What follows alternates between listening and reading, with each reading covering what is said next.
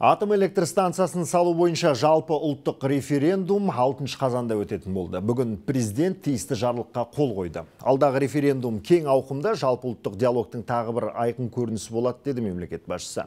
Расында қазір әлем энергия тапшылығын сезіне бастаған. Елімізге сенімді және экологиялық таза қуат көздері аса қажет. Сондықтан атом энергетикасының маңызы зор.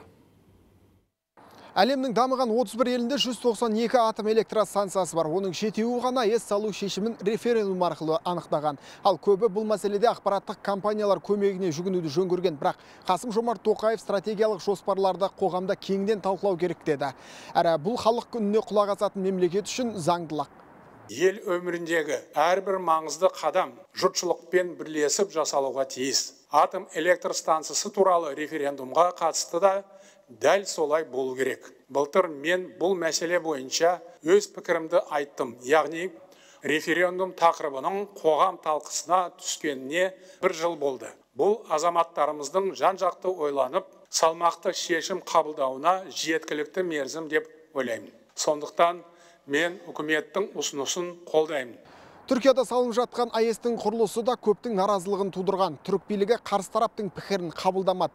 Бірақ қазір үкімет шығарған шешімге протесттік көзқарас жоғалды. Сарапшылардың айтуынша түркиялықтар атом энергетикасының экономикаға пайдасын енді ғана түсіне бастаған. Сондықтан бізде де сапалы әрі шынайы ақпараттар легін көбейту керек кәсіпкерлерде көп ұсыныс айтады.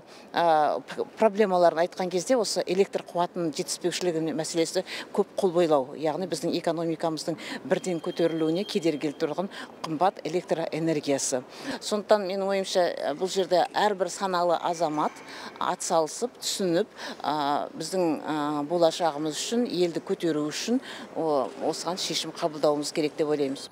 Атом энергетикасына қарсы көзқарас 20 ғасырдың еншісінде қалды.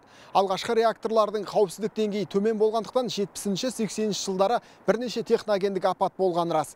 Бірақ ядролық ғылым дамып, ғалымдар АЭС-тің озық технологияларын ойлап тапты. Қазір атом алпауыт елдердің маңызды қуат көздеріне айналды экономикалық тиімділігі сөзсіз бар.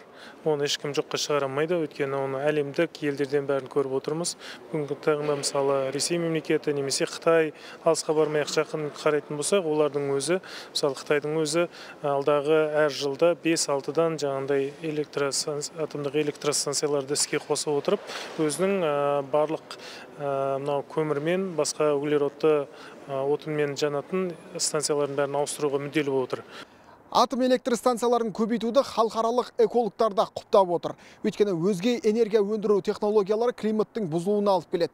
Қауіпсіздік мәселесі тағы бар. АЭСке қарсы топ оның орнына гидростанцияларды көбейтуді ұсынған. Бірақ әлемдегі әрбір бесінші алапат апат дәл осы гестердің кесірінен болады.